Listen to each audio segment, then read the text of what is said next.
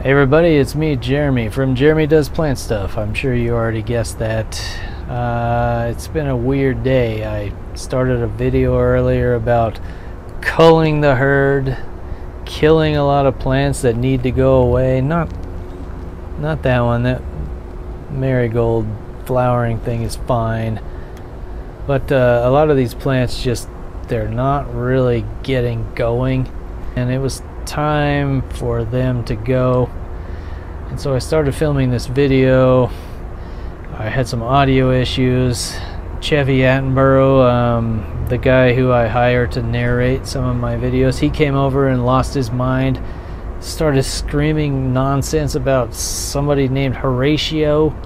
Horatio, Horatio, he was saying, and I came to find out it was a plant he'd grown fond of. He just wasn't happy that I'd done it. He he'd grown attached to the plant. It was it's a I don't know I don't know what else to say. It's been a weird day. Um, I'm just gonna jump right into it. Let's roll that clip. Hello and welcome to another exciting episode of Jeremy Does Plant Stuff. It is now late August, which means September is not far away, which is also the official or unofficial start of fall which means cold weather is coming and so is winter. And all of these plants need to go. Well not all of them. We'll go ahead and keep some of the pepper plants that are doing better. That tomato plant I'm sure you can see that there. Those stay. But I have a lot of plants here particularly pepper plants because I didn't have enough real estate early enough in the year to put them in bigger pots. They were stunted, they were not performing, and some of them literally just paused. They grew to this height, two, three inches, and they just stopped. After I transplanted them to a planter, they just stopped. They didn't do anything.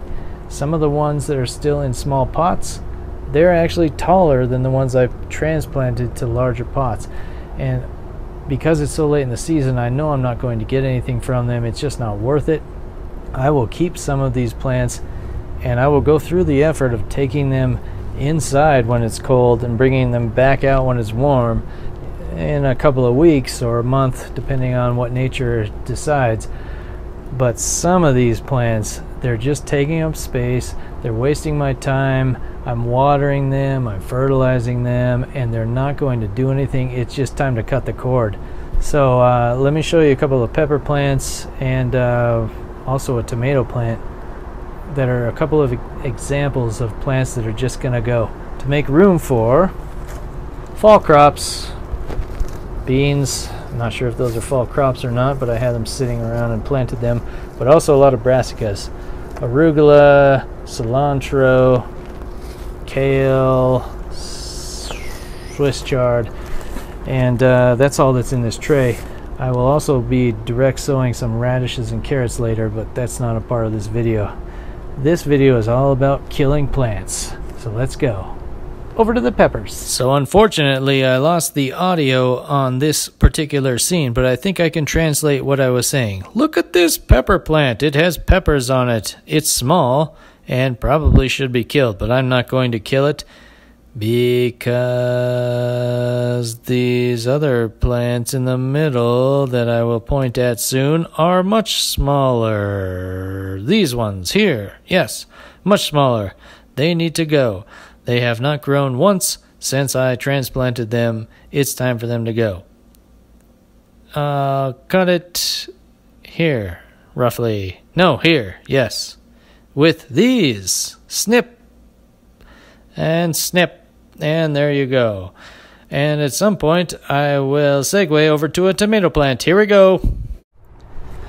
So, this tomato plant is another great example of a plant that just needs to go. It's not really taking up any space. It's by itself here on this vertical planter, but literally several months old and no blooms whatsoever. Nice new growth, but no blooms. And frankly, I'm tired of taking care of it. I hate to just kill a plant like this, but I'm also wasting money on fertilizer and on and on and on with all the different reasons. This is no good, so it's time for it to go.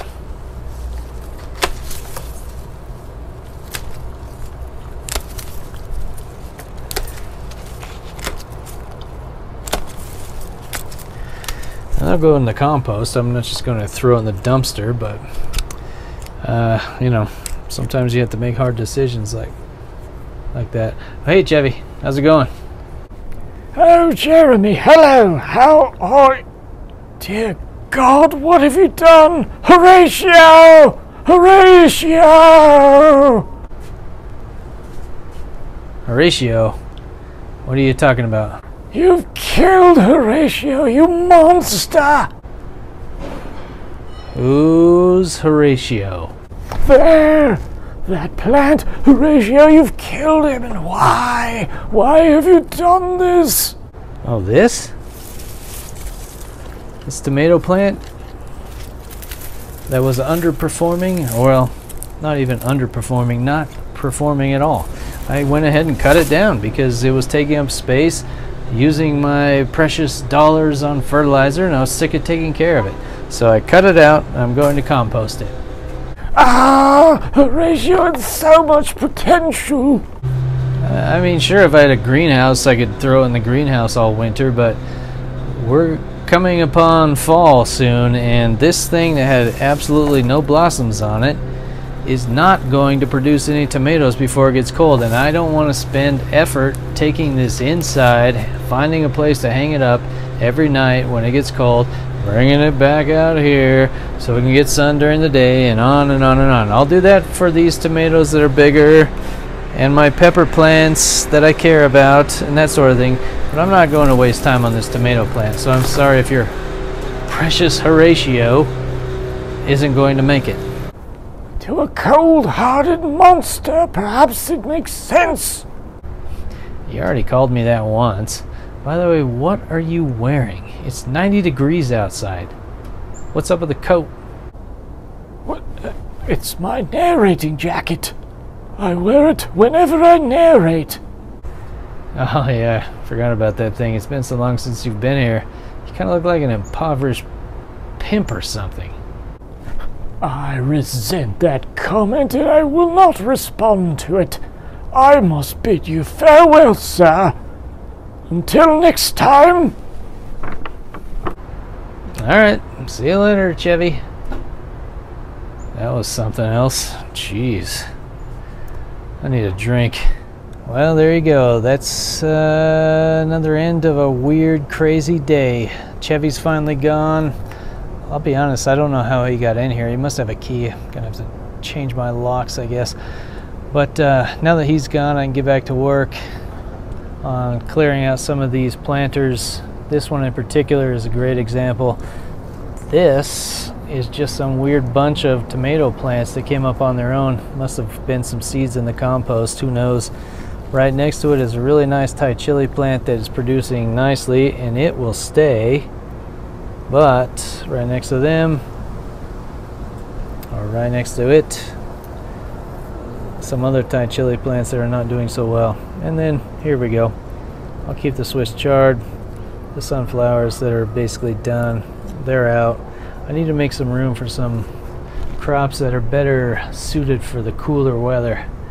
But uh, still have a, quite a few good plants coming on. Tomatoes back there, lots and lots and lots and lots of peppers. Another tomato plant here.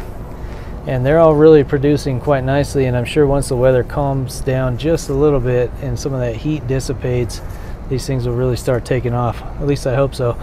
Well, anyway, I hope you enjoyed the video and uh, please stay tuned for further updates. I have a couple of new trellises I'm putting up for the beans and uh, a whole lot of other things. So be sure to subscribe, like the video if you liked it. If not, like it anyway or else. And um, I guess that's it for now. Until the next video, have a great day.